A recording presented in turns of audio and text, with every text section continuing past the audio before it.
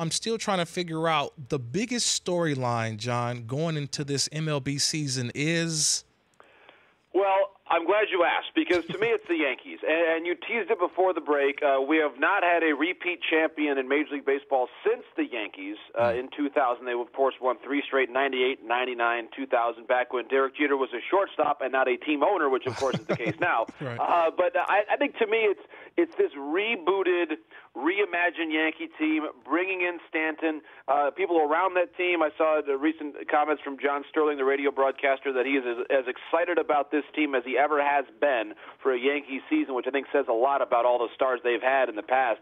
But you really get the sense, Kirk, that here's a team that was the dominant force in the game for a period of time and now they're back in a big way, not just getting to the ALCS as they were last year, but it's almost as though the Yankees are back on the map because anything short of a World Series championship for them is going to be a failure. And speaking of teams that are all in, I love this as well. On the National League side, Kirk, right. a storyline that I'm going to watch a lot during the course of the year. Clayton Kershaw is in the final year before he can opt out of his contract with the Dodgers. Bryce Harper's in the last year of his mm. contract with the Nationals there's no way that both of them will be happy when the season is over because right. one of them, at, at, at most, one of them can win the World Series, and that is where the bar is for both of them as well. So I love it. You've got the Yankees going all in, getting Stanton. You've got Kershaw and Harper desperate to win in their final years with their franchises potentially. You've got a lot of desperation from a lot of teams with a lot of talent, which I love. A lot of all-in teams right now in Major League Baseball. MLB Network analyst uh, Jon Morosi joined the Rich Eisen show. And Jon, is I mean, well, are we going to give Clayton Kershaw and Bryce Harper the LeBron James treatment this year of basically knowing they have the opportunity to opt out and be free agents or be a free agent altogether? How many times will they be asked the question?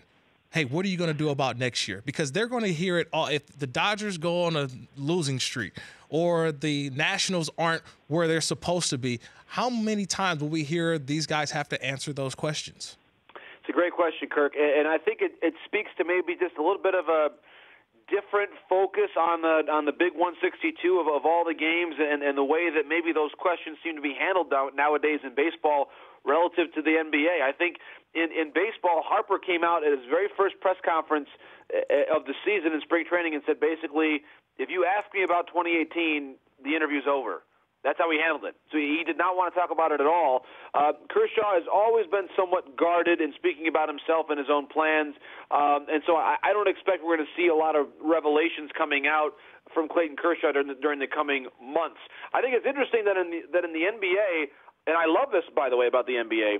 The players are are outspoken yes. and and are very aware of their ability to basically control the chess pieces of the entire landscape of the league. It's like, hey, if we all go to this team, we're going to be dominant. We're going to win. And I, I love the fact that it's very out there in the open and then people talk about it. In, in baseball, it's a little more uh, guarded, which I, I think both we understand certainly who's going to be a free agent. It's not as though that by not talking about it from Harper's standpoint that we are going to talk about it any less because I think we're still going to talk about it as much as we all, already would.